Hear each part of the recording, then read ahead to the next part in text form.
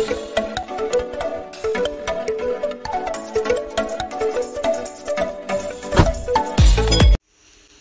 guys! Welcome sa aking vlog. For today's video, i-share ko naman sa inyo kung paano kayo makapag-apply ng SSS Conso Loan or SSS Loan Penalty Condonation online. Pero bago yan guys, kung kayo ay bago sa aking vlog, please consider to subscribe para updated kayo lagi sa mga informative na mga videos ko. So ngayon guys, nandito na tayo sa mismong SSS website. Dito, kailangan nyo lang mag-login sa account ninyo Lagay nyo lang yung user ID ninyo and password. Then, click sign in. Ayan guys, nakapag-login na tayo. Nasa home na tayo. Ngayon, click nyo lang itong e-services. Pagka-click nyo yung e-services guys, makikita nyo yung reminder na ganito. Dito sa may box, click nyo lang yan.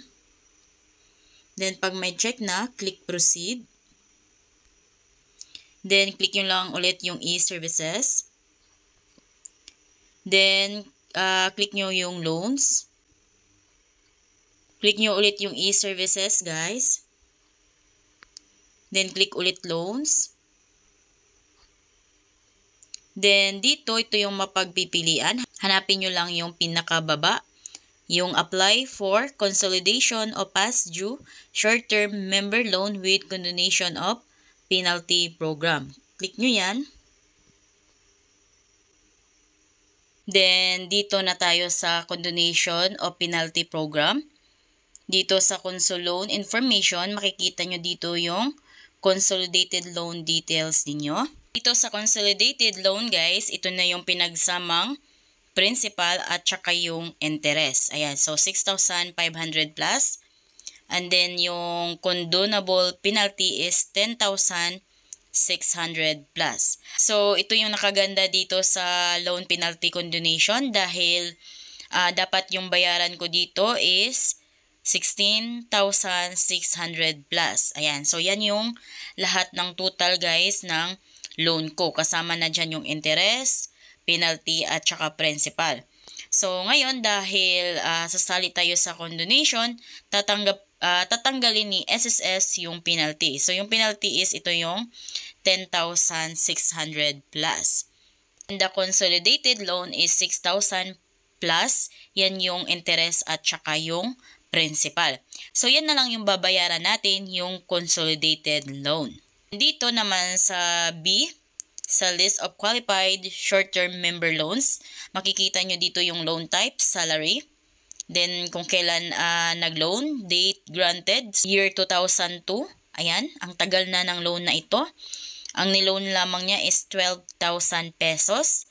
Then, ang tumubo guys sa condonable penalty na matitipid niya is 10,600 plus. Niloan lang niya is 12,000. Then, nagkaroon ng penalty na 10,600 dahil itong loan na ito ay noong 2002 pa lamang. Kaya ang laki ng tinubo niya, 10,600 plus. So, ito yung makukondon guys o tatanggalin ni SSS. Ayan, condonable penalty. Ayan, yan yung penalty niya, tatanggalin yan. Then, yung interest niya is, of course, babayaran pa din niya. Dito, ang interest ng niloan niya is 3,500 plus. Then, ang natira na lang sa loan niya na niloan niya nung 2002 na 12,000 is ang natira na lang is 3,000 plus. Again, nag-loan siya ng 12,000 noong 2002. Ito ay salary loan. Then, nagkaroon ito ng interest na 3,500 plus. Then, ang natira sa 12,000 na loan niya nito is 3,000 na lamang ang natira. Kung kaya ito ay ipagtutotal yung interest na 3,500 plus plus the principal na 3,000 plus kaya naging 6,000 plus na yung total. So, ang babayaran na lang niya is the interest and the principal. Ito yung nakaganda dito sa condonation. Dapat ang bayaran niya is kasama yung penalty, interest, at saka yung principal. But dahil sa condonation na ito, tatanggalin na yung penalty. Ito, tatanggalin na. So, ang babayaran na lang niya is the interest at saka principal. Wala ng penalty. Dito naman sa preferred console loan payment term, mamili kayo dito kung anong klaseng payment term yung gusto ninyo. Click nyo lang itong please select. Dito, pwede kayo mamili kung one-time payment ba or installment ba. But guys, take note na pag yung loan ninyo is uh, below 5,000 pesos, automatic po yan is one-time payment. Hindi kayo pwedeng mamili ng installment pag once yung loan balance niyo is 5,000 below. But then, kung 5,000 uh, pataas yung loan niyo, pwede kayong makapagpili ng installment term.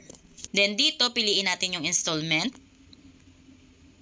Ayan, pag napili na natin yung installment, lalabas na agad yung uh, preferred down payment at saka yung preferred payment term. Dito sa preferred down payment, click lang natin itong please select.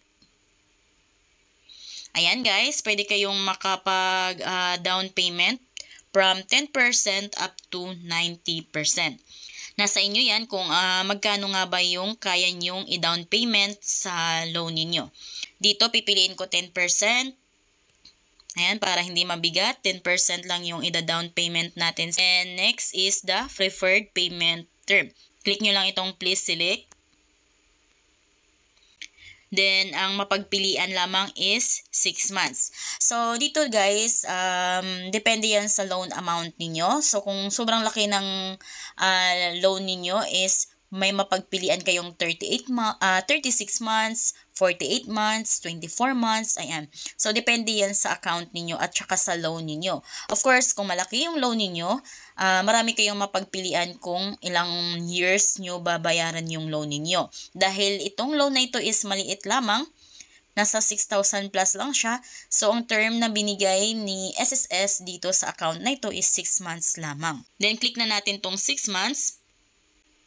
Ayan, nakapili na tayo. 10% yung down payment na pili natin at saka 6 months yung uh, payment term na napili natin. Make it sure na uh, kaya ninyo yung pinili nyong uh, percentage na down payment ninyo dahil pag once is hindi nyo yan mabayaran sa loob ng 30 days, magiging defaulted loan yan. And dito naman sa kabila, sa number of months, payment term, make it sure lang din na uh, mapili nyo yung pinaka uh, kaya ninyong payment terms para pagdating ng mag uh, installment na kayo is kaya nyo naman uh, mabayaran yung amount na yan. Then scroll nyo lang pababa. Ito guys, dahil naka-color red yan, so ibig sabihin, kailangan yung basahin yan at intindihin yan. Dito, failure to pay the full amount within the approved term shall result to default. Ayan. Ito na yung sinasabi ko kanina na make sure na yung uh, pagbayad nyo is dapat mabayaran ninyo dahil dito guys, ito yung mga mangyayari. A defaulted console loan shall become due, undemandable, and must be paid in full without need for demand or notice.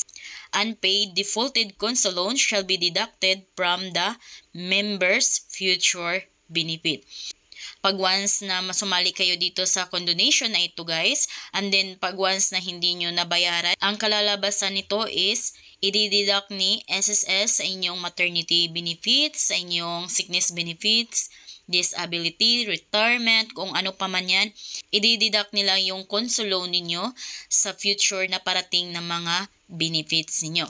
Then, member borrower with defaulted console loan account may avail of a new loan after 2 years from the date of console loan full payment.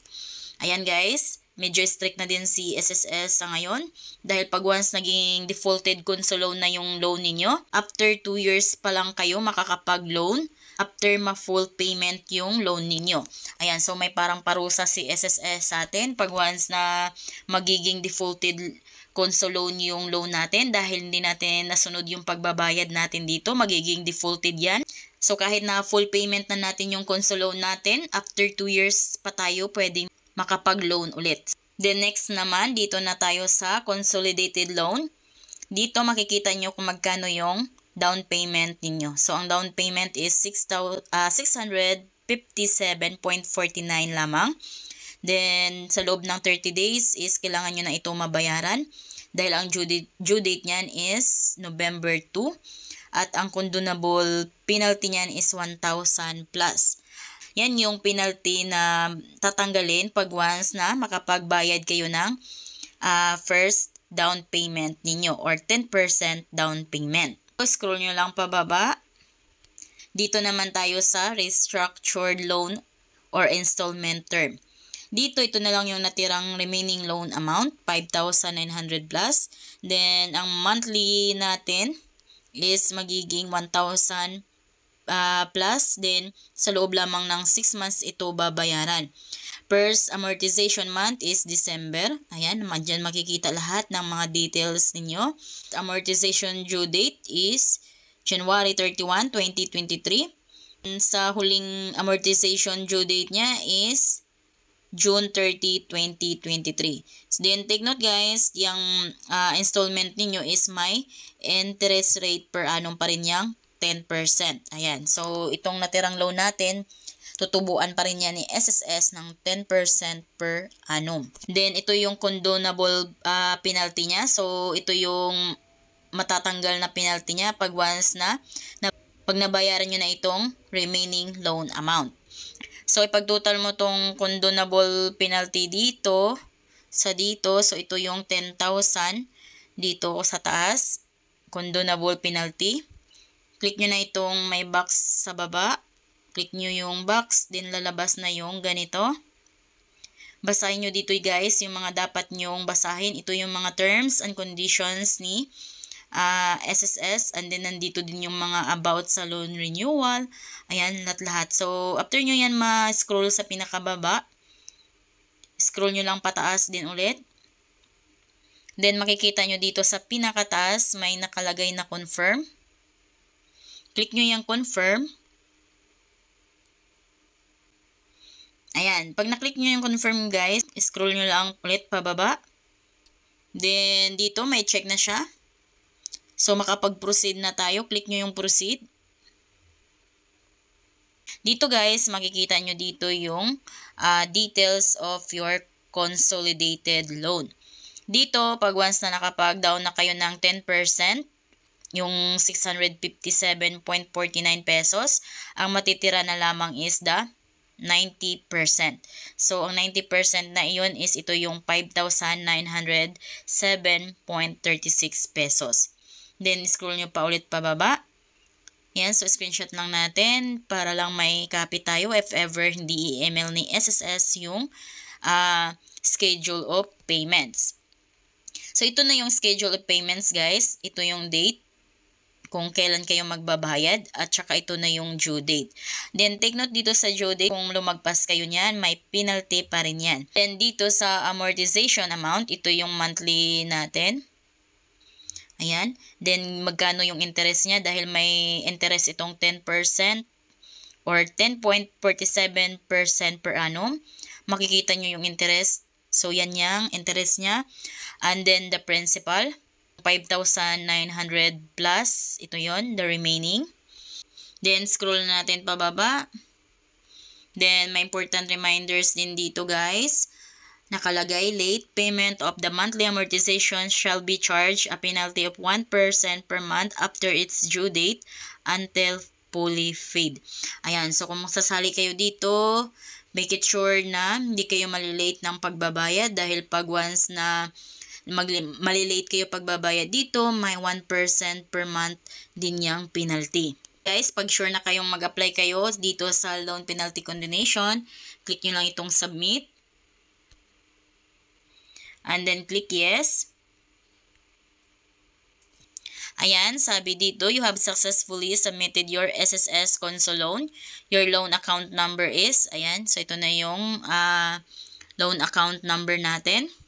Then, screenshot natin yan para may uh, copy lang tayo. Ito yung payment reference number. So, dito nakalagay, payment should be made on before November 2, 2022. Ayan, so dapat mabayaran itong 10% uh, down payment gamit itong payment reference number bago mag uh, due date ng November 2, 2022. And the copy of the notice of approval has been sent to your email address. Ayan, mag email si SSS sa atin ng notice of approval. So, hintayin natin yung uh, notice of approval na email ni SSS sa ating lang guys kung paano mag-apply ng SSS Loan Penalty Condonation. So, kung kayo ay bago sa aking vlog, please consider to subscribe para updated kayo lagi sa mga informative na mga videos ko. Thank you for watching!